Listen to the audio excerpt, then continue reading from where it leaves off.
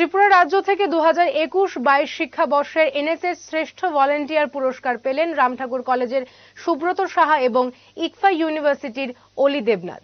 গত উনত্রিশে সেপ্টেম্বর রাষ্ট্রপতি ভবনে দেশের রাষ্ট্রপতি দ্রৌপদী মুর্মু তাদের এই পুরস্কার প্রদান করেন।